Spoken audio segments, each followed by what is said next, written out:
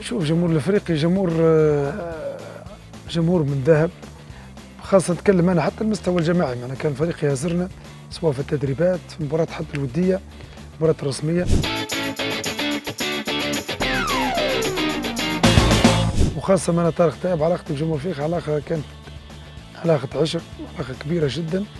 كانوا هم الوقود في الملعب لي أنا وحافز كبير.